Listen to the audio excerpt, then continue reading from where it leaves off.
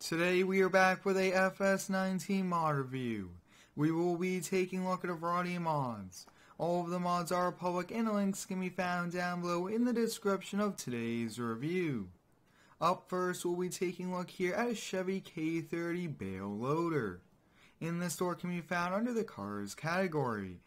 It is a 1979 Chevy K30. Starts at just over $31,000. Now the bed of this truck is a bale loader, which I will be showcasing, but let's first take a look here at all of the options. The flatbed's color changeable, the main cab, the stripe, and the rims. You could get a few different uh, paint schemes for it as well could get a few side steps, a few different brand decals, a plow mount, and uh, the options continue on.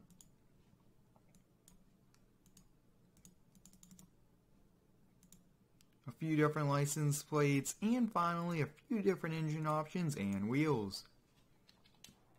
As we take a closer walk around, you guys can see this is one sweet truck. This does have a bale loader here, which is pretty cool. These arms do come up, and it will actually lift a bale or two up onto the flatbed, which is pretty neat. I really do like this bed, though, you guys can see awesome textures, very high quality. Once we hop here on the inside, it has a top speed of 75 miles per hour. All the lights here on it do work, and a few extra custom lights there as well, and you do have those extra work lights front and back. On the first person view, you do have working mirrors, working steering wheel, and gauges. It's uh, very done on the inside. I'm excited to be back here with the FS19 mod review. Lately there haven't been too many mods coming out, hopefully more and more do uh, come out. I really do like those brake lights up there on the flatbed uh, headache rack area, that's pretty neat. While we are driving, let's take a quick look. When you do press X, it does come out, and uh, then with mouse controls, you could actually kind of rotate it around there. That's pretty cool, and you could bring it closer to get any smaller bales. Overall, it's one pretty neat truck. Up next, we will be taking a look here at a crew cab flatbed. In the store can be found under the cars category. It has a starting price of $36,000, 102 horsepower, and a top speed of 74 miles per hour. The cab is color changeable along with the bed, but you have galvanized or stainless steel there. You do have a few different beacon light options, ramps for the bed, and a few different engine options. Now this truck here is found on the official website which is pretty cool. Not only is this a flatbed but you could put grain in the back. This is very nice. It does have a pretty long wheelbase as well. Once we hop here on the inside, top speed is 75 miles per hour. All of those lights do work, the two beacon lights on the interior. It's very nicely done, a ton of detail. This thing does look pretty cool. It's actually a six-seater, uh, which is pretty neat. When you do press X, uh, these sides come off, the ramps go on. Really do like those ramps. Those are pretty nice quality metal ramps, and we do also have straps. Overall, it's one pretty neat truck here. Very interesting cab, but I really do like all of the features. Up next, we will be taking a look here at an International Day Cab Semi. It can be found under the Trucks category. It has a starting price of $22,000. It's a 1989 IH Eagle 9300. It is a bit older, but I really do like it with 650 horsepower. It is color changeable. Here's some pretty cool logos and uh, paint schemes you can do. As we take a full walk around up front, you guys can see a lot of chrome. Really do like the stacked headlights uh, with the uh, turn signal up above. That does look pretty cool. Really do like the red on those wheels, and it's a very nice older truck has a top speed 104 uh, miles per hour. All the lights do work here on it. Really do like those exhausts. Simple, but uh, pretty neat. And on the first person view, working gauges, working steering wheel, and mirrors. This thing does look pretty cool. Really am excited for this. I really want to get more older equipment uh, uh, in the game, especially older semi-trucks like this one. This truck looks amazing. Up next, we will be taking a look here at a Freightliner Cascadia Day Cab Semi. In the store can be found under the trucks category. It has a starting price of $127,000 and it's the day cab glider, uh, which is pretty cool. 400 horsepower with a ton of new uh, paint colors here, which is pretty cool. Really do like this one here, and you could get a rack in the back with beacons. Uh, without beacons, you could get the chrome or the color match, a few different engine options, and a few extra exhausts. And you could actually upgrade the wheels. As we take a full walk around, you guys can see very high quality truck. I really do like the chrome covers on the mirror caps. That does look pretty cool. And this does, I believe, have uh, some uh, pieces chrome, some color. Really do like that. It's a nice balance. I also really do like those wheels. Once we hop here on the inside, top speed at 93 miles per hour. All the lights do work here on it. We actually do have uh, digital speedometer, working gauges, and a steering wheel. It is pretty uh, nicely done. I hope everyone's having a great day so far. Let me know how it is down below. My day has been very busy with schoolwork, but I'm excited to be back here making videos. This is a great hobby for me, and I appreciate all the support.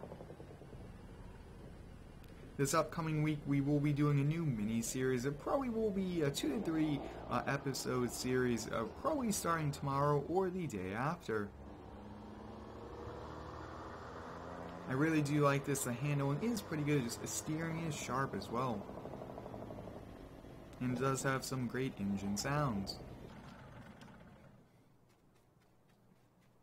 Up next, we will be taking a look here at an old Chevy C70 log truck. This can be found under the truck category. $2,500 here for it. It is color changeable. The basic colors 200 horsepower and you could get uh, mud flaps in the back. I really do like this older, simple truck, especially for logging. I would prefer to use one of these to go out on the trails instead of a brand new expensive truck.